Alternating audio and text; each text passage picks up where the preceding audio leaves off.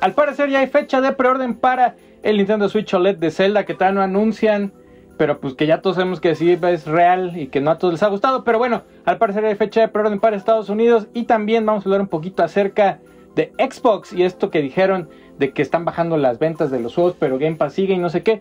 Vamos a hablar de todo esto en news. Yo soy Tierra y hoy traigo boost, hoy traigo grandote, ¿eh? Es 14, entonces todo grandote. Oh. Y bienvenidos a las BroDBG News del día de hoy.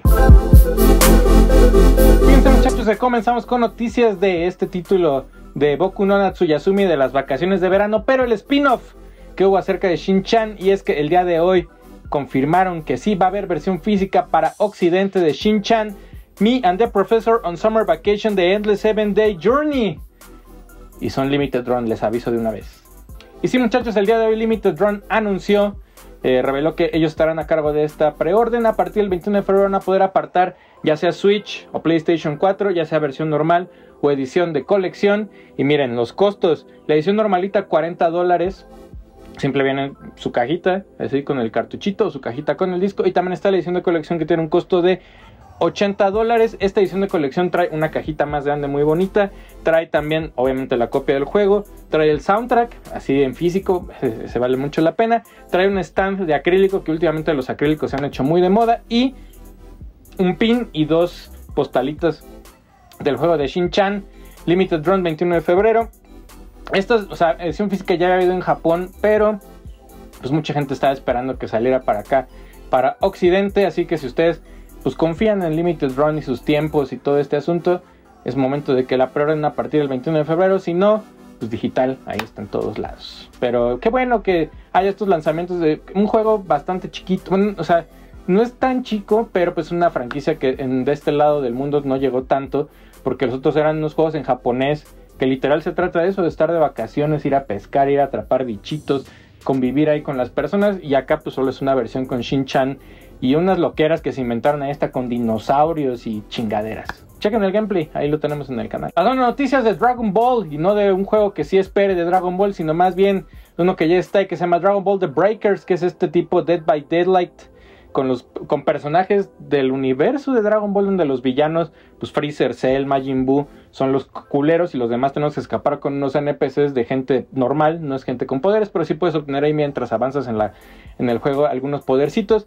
Fíjense que el día de hoy anunciaron que estará disponible a partir del 16 de febrero la segunda temporada del juego que incluye a Vegeta como enemigo cuando se transforma en Changote. La primera vez que llega Vegeta en el universo de Dragon Ball Z y personajes jugables que vas a poder, o sea, también puedes jugar con el villano, pero personajes normales que están ahí tratando de escapar están Yajirobe y Milk o Chichi, como se le conoce en Japón, que es la esposa de Goku, esta chica que peleadora artes marciales y Yajirobe, pues este gordito chistoso con su espada.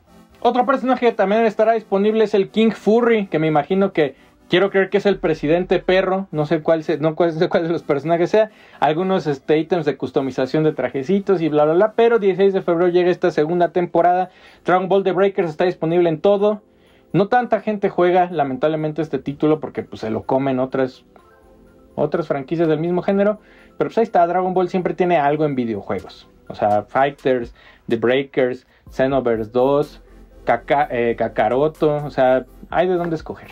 Ya veremos si con esta segunda temporada pues el juego repunta un poquito más con estos personajes y todo el asunto. Y que más banda le entre a jugar The Breakers. La neta se ve muy bonito, yo lo estuve calando un ratito, luego no encontraba partidas muy al principio, pero pues a ver cuánta gente regresa. Noticias de Metroid Prime, pues fíjense que pues, sí, ya lanzaron Metroid Prime Remastered, gran versión del juego. Chequen por ahí el contenido que le hicimos el fin de semana. Pero durante estos días, Jeff Grubb, un periodista ahí bastante conocido en la industria de los videojuegos en Estados Unidos, comentó que él está seguro que van a salir Metroid Prime 2 y Metroid Prime 3 de la misma manera. No me sorprendería que Nintendo ya los tenga medio trabajados o que ya esté trabajado por Retro Studios todo este asunto y todos los, demás que colaboraron en el desarrollo del primero. Pero él dice que sí, que sí, pronto los veremos, probablemente hasta antes de que salga el 4, seguramente la intención yo creo es que pues llegue uno al 4 y sepamos lo que está pasando en la historia porque hubiera estado muy raro como ahí está Metroid Prime 4, oye quiero jugar los otros, cómprate un Wii o cómprate un GameCube, entonces hubiera estado extraño, pero él asegura que pues sí están trabajando el 2 y el 3. Jeff Groben en una ocasión anterior él aseguraba del 1 y que en el direct donde dijo que esta vez va a salir y todo, no salió, pero ahora sí, ya está disponible. Acuérdense que la versión física de Metroid Prime Remaster disponible a partir del 22 de febrero. Aquí en México las preórdenes no están abiertas todavía, ojalá en estos días o se abran, pero este, chequenlo, la neta gran juego de acción aventura en primera persona con disparos. Pasando a noticias que tienen que ver con el 14 de febrero, o sea, el día de San Valentín. Fíjense que este, por ahí la gente de Blizzard eh, pues ya ven que Overwatch es muy popular. Bueno, Overwatch 2, porque ahora ya es Overwatch 2, es muy popular. Habían ahí comentado que pues en estos días iba a estar disponible un minijueguito que está ahí en, este, en su computadora. Pueden ahí a través del navegador jugarlo. Y es un juego de citas basado en los personajes de Overwatch. Este, este date sim o este simulador de citas conocido como Loverwatch pues ya va a estar disponible hasta el 28 de febrero. Por ahí dijeron, nada es canon, todo esto es puro cotorreo. Y sí, es que ustedes pueden ahí en su navegador, pues ahí echarse unos cotorreos con los diferentes personajes del juego. De hecho, el, título se llama, se llama Overwatch 2, Loverwatch. Love Never Dies, que Love Never Dies es una frase muy común que seguramente si ustedes juegan Overwatch la ubicarán de dónde sale y pues pueden jugar y ahí emparejarse con su personaje favorito del Overwatch la que la neta está cagado este, este, este asunto. Por aquí en más detalles del juego. Dicen, el juego está hosteado por Cupid Hanzo, que Hanzo es el arquero este japonés, que está bien chido. Y pues ahora es Cupido, porque trae un arco, uh, baboso. Y pues pueden ahí interactuar con ellos. Este, pueden, mira, está Mercy, está Genji. Eh, por ahí dicen que hay varios, este, hay varios personajes que pueden ahí emparejar. Creo que nomás son Mercy y Genji. Y ya. Yo pensé que eran más, pero bueno. Mercy y Genji son chidos. Además, por ahí confirmaron que si ustedes pues, juegan Overwatch, eh, van a recibir algunas recompensas en el juego principal. esto está chido, tienen que conectar ahí sus cuentas de Blizzard y todo el asunto. Esto incluye títulos, iconos y algunos intros especiales para Genji Mercy y Hanzo. Por último, si ustedes deciden que no, pues también pueden pagar moneditas de Overwatch para sacarle skin de Cupid Hanzo en el juego principal. Y pues ya, qué chido, se suman estas como mames que hay ahí temporales y todo el asunto. Chido por Overwatch 2. Ahora sí, pasemos a lo que nos cruje y es que por ahí el drama de Xbox y la compra de Activision Blizzard sigue siendo pues algo, un tema que cada semana tiene algo nuevo, que porque en Europa dijeron que porque Nintendo le quieren preguntar que si Nintendo está de acuerdo, que Play no quiere, que eh, Call of Duty, que el monopolio y la chingada, pues en la noticia de esta semana es que por ahí en el este pues la autoridad en, Reino Unido que se encarga de aprobar estas compras y de decir esto no es un monopolio o esto sí esto no por ahí se revelaron unos reportes nuevos donde pues la gente de Microsoft internamente pues sí está consciente de que las ventas de los juegos han bajado por el servicio de Game Pass. ¿A qué me refiero? Tú puedes comprar, o sea, tú te puedes meter al, al marketplace de Xbox y comprar tus juegos por aparte del que sea, pero pues sí, ahí en unos reportes ellos dicen que sí, Game Pass le ha impactado a las ventas directas de los juegos y empezó el drama en Twitter que sí, que Game Pass es una culera, puras cosas. Era natural eso que iba a pasar, o sea, era muy normal que Game Pass pues, se fuera a tragar estas cosas. Lo único pues es que si internamente lo reconocen es que no es que haya problemas, pero pues sí está muy hecho que es un servicio y que es un Netflix de los videojuegos y que ahí va a estar todo. Pero pues ya ven, la gente ahí saltó bastante.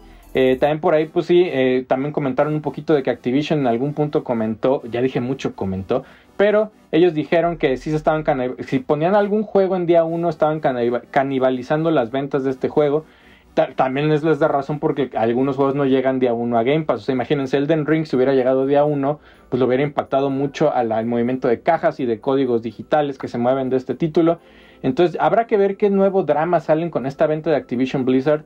Por ahora no se ha aprobado y sigue estando como en duda si los diferentes organismos en diferentes países mencionan si es un monopolio o no es un monopolio, muy al estilo como lo que pasó con Disney y Fox que tuvieron que aprobar la venta en todo el mundo, pues más o menos es lo que está pasando con Activision Blizzard y Xbox, pero eh, bueno, ahí sacaron también más drama de que, eh, de que Phil Spencer en, hace unos años había dicho que Game Pass más bien favorecía que se vendieran más los juegos y todo. Yo creo que más bien ahí la frase hubiera sido a que se jueguen más estos títulos, ¿no? Si están de manera más sencilla, más disponibles, pues se juegan más.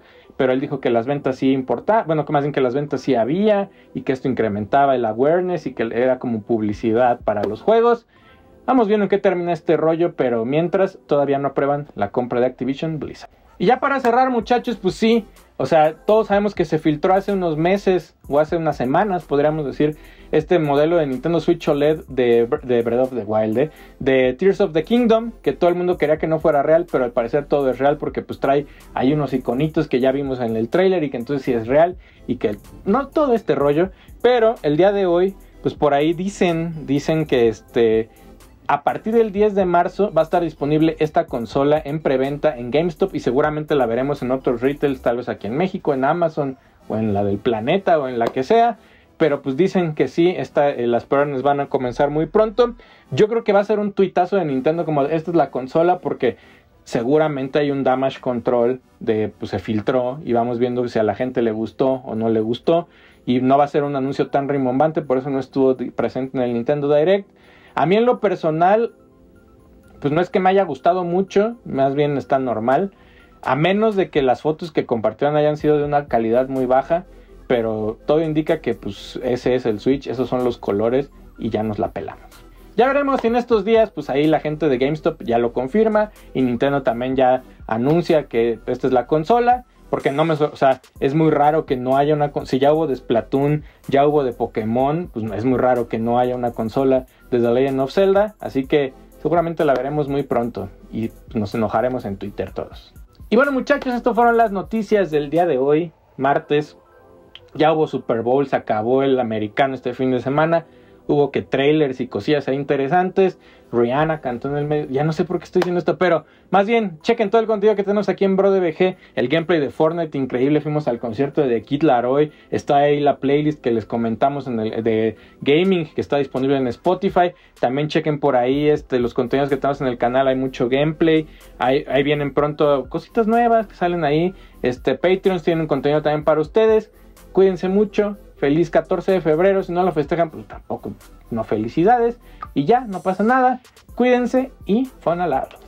Bye. Oh, me tronó el brazo. Ay, me echo un traguito más. Así, mira.